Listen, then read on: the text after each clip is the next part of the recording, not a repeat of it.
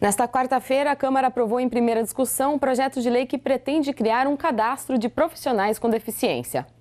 A proposta tem como objetivo aumentar as chances de inclusão do deficiente no mercado de trabalho e, com isso, garantir a autonomia do cidadão. A tendência é que nós consigamos cada vez mais trazer essas pessoas com qualquer tipo de deficiência para o mercado de trabalho. Por lei federal, as empresas com 100 ou mais funcionários já são obrigados a cumprir uma cota com 2% de empregados deficientes. Mas, segundo o presidente da Comissão de Defesa das Pessoas com Deficiência e Mobilidade Reduzida, muitas vezes a corporação não encontra pessoa qualificada para ocupar um posto. E isso é o que também este cadastro quer facilitar. Esse cadastro visa justamente a cadastrar a qualificação da pessoa, o que, que realmente ela está preparada e apta a fazer nessas empresas. O projeto de lei de autoria do Executivo foi aprovado em primeira discussão durante a 44ª reunião ordinária. Agora a proposta vai ser encaminhada para uma segunda discussão e votação.